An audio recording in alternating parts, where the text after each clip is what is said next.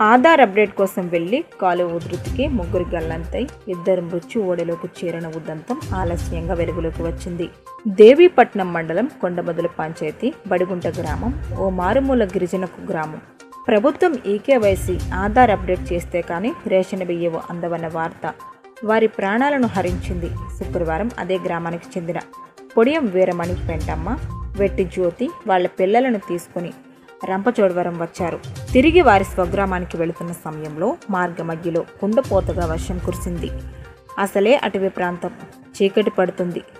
బడిగుంట ఆకూరు గ్రామాల మధ్య కాలువ ఉధృతంగా ప్రవహిస్తుంది.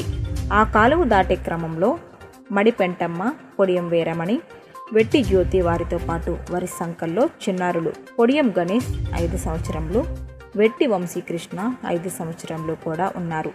ఈ ఘటనపై Devipatnam SI K V Nagarjuna case నమోదు చేసి దర్యాప్తు చేస్తున్నట్లుగా మీడియాకు వెల్లడించారు.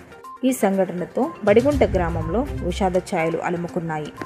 కేవైసీ పని నిమిత్తం వాళ్ళు తిరిగి వస్తుండగా సాయంత్రం సుమారు నాలుగు గంటలకు బడిగంట గ్రామ సమీపంలో ఉన్న ఆకూరు వద్ద వాగు దాటుతుంటే నిన్న వర్ష వర్షపాతం ఉధృతికి వాగు వేగంగా ప్రవహించడం వల్ల ఆ వాగులో పడి కొట్టుకుపోవడం జరిగింది. దాంట్లో ఒక ఒక ఆవిడ సేఫ్గా బయటపడింది.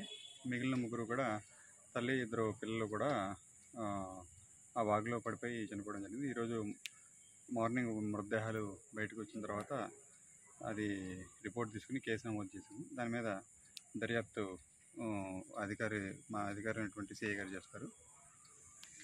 ఇంకా తదుపరి విషయాలు ఇన్వెస్టిగేషన్లో తర్వాత తెలియజేసుకుంటాం.